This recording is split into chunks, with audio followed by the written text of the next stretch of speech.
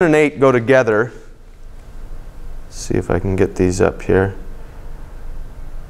And I'll just put it here. Um, and so yeah, they go together with the same experiment. We've got a ring, cylinder, solid sphere, and hollow sphere. We're going, they're, they're all uh, uniform density. Uh, they all have the same mass. Now, it doesn't say anything about their radius. Um, we're going to release them from rest on an inclined surface, and they all roll down without slipping. So there's a, a, some key words here. Um, and there's two questions. I, will tell you what, I actually want to jump to number eight first. It's maybe a, a, bit easier to argue here. So let's go to number eight here. And which one has the largest total kinetic energy at the bottom? At the bottom. Um, so it's asking about energy. We should probably think about our uh, work and energy strategy. And so I'm, I'm going to start off with my picture. This is how I do my work energy strategy. And regardless of which of these four objects we're talking about, it's circular in nature. It will look something, well, something like that, but circular or spherical. Um, and I'm going to, in my, in my picture here, I'm going to label, this is what I do with my work energy strategy, my initial and final um, position. So we've got those down, and next in my work energy strategy, I, uh, I choose where is the height equal to zero, and whichever point is lower, that's what I use. And so I'm just going to choose um, this, well, height zero there. And then the other thing that I need to think about here is, uh, with our work energy strategy, is to think about the work done by all of the non-conservative forces. So let's take a look at this for just a moment. The work done, this is how I write it, by all the non-conservative forces. Now what forces are acting on these objects as they're rolling down? We've got the force of gravity, we've got the normal force, and there's a key, the key word here, roll without slipping. That means the point that, of the uh, object that's in contact with the incline is uh, it's actually instantaneously at rest. If it wasn't at rest, that means it's sliding or slipping. So it is at rest, which means that uh, there's actually going to be static friction involved here. Uh, there, there must be friction in order for the objects to roll without slipping. There has to be.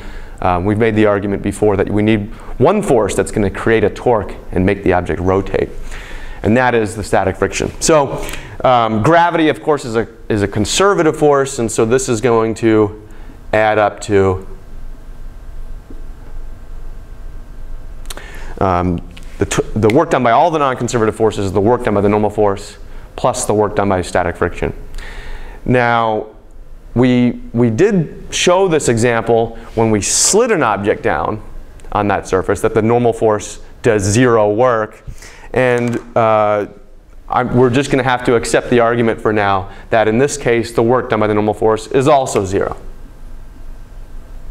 All right, the normal force uh, yeah, isn't doing any work. Uh, static friction. Uh, static friction also, uh, we made just an argument in class, and so I guess we'll just have to believe me that when an object rolls without slipping, uh, the static friction also does zero work. So we did not prove that in our 102 class, but uh, that should be the case. And so at this point, we're ready to move on to our, our work energy equation. And so let's just write that up here. What does that look like? Oops. Let's write it here.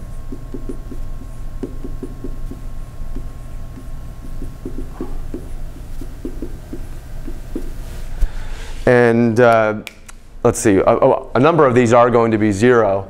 So let's plug those in. The initial kinetic energy is zero. The work done by the non-conservative forces is zero. Um, and also, uh, so zero kinetic energy because it's released from rest.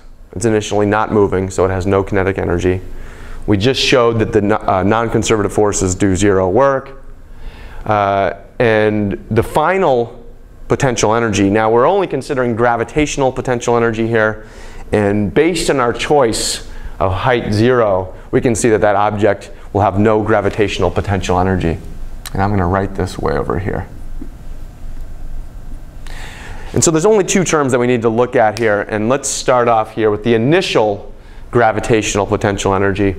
Um, it's not given in the problem. All we know is, is that they're released from the same uh, from the same point in the incline. So, you know, we just we're just going to make up a, a, a, variable here to represent the height. And so I'm just going to call that h. All right, they're all all rep, all of the objects are released from the same height, and so uh, I can write in here mgh. And actually,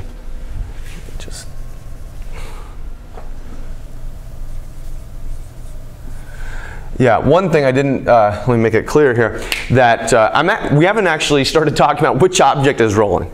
Because what we're going to do is uh, we're going to say, hey, we're going to work out the same equation for any of them. For any of the four, we can work it out just once and we can see the result. So this equation that we're applying here represents the rolling down for any one of the four objects. All right, the final uh, kinetic energy, actually, oh, this answers our question. We'll, we'll keep this up um, we'll keep this equation up here to help us with number when we go back to number seven. But for number eight, we're actually done uh, because which one has the largest total kinetic energy at the bottom? And since this, you know, what we applied here is valid for all of the four, the final kinetic energy is equal to the mass of the object times g times the height. They all have the same mass. They all have the same height. And so this one is uh, answer E here. They all reach the bottom with the same total kinetic energy. all right, so let's go jump back to number seven. And actually, let me just, uh, well, I'm going to erase this here because when the, when the object rolls down to the bottom here, there's actually two components of the kinetic energy that we need to consider. There's both translational and rotational kinetic energy. This object as a whole is moving through space. Right? It's moving through space, that's, so it has translational kinetic energy. It's simultaneously also rotating about its center. Uh, and so there's some rotational kinetic energy. And so we need to consider both of those terms. And so let me, well, yeah, I'll just write it here. The translational kinetic energy, we've seen that formula several times. 1 half mv squared. Plus, we now we need to add in uh, the rotational kinetic energy, uh, which is has this formula. Now, a couple things here. This, what does this v represent? That's the speed of the center of our circular object, because in general, as an object is uh, rolling down the incline, different points in the object will have different speeds. We're going to consider the center uh, which just follows uh, a straight path here. Um, so this is the speed of the center of the object, and this is the rotational inertia then uh, about the center of the object. So that makes things a little easier for us. Now, what we're going to do here, and there's a few arguments involved, uh, but if we, if we look on our, say, our formula sheet, if we look these up, um, we'll see that for the ring, the solid cylinder, the solid sphere, the hollow sphere. All of these rotational inertias that we look up about the object center have an m and an r squared. Okay, now r isn't given in the problem, and we don't, it's not even known whether they're the same r or not. So I'm just going to write r for now. All right, we're going to make up r, and then hopefully it'll go away. Um, and so whichever object we're talking about, uh, there's some number here. There's some number that goes right in front. Uh, and so what I'm going to do, this is part of the argument, to, I, I, think this actually can simplify the problem, is I'm going to put alpha here. Alpha is a number. All right. For the, for the ring, alpha is 1. For the uniform solid sphere, alpha is 1 half, uh, etc. So each of these objects has their own number right here. Now, the reason, well, that's going to make things a little bit easier for us because our next step, let's put in our next step here. Now that we can rewrite this,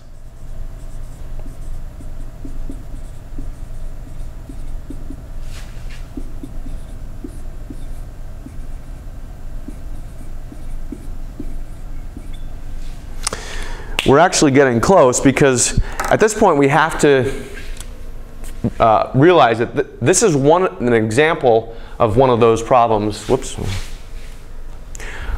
Where we have both translational and rotational uh, motion involved.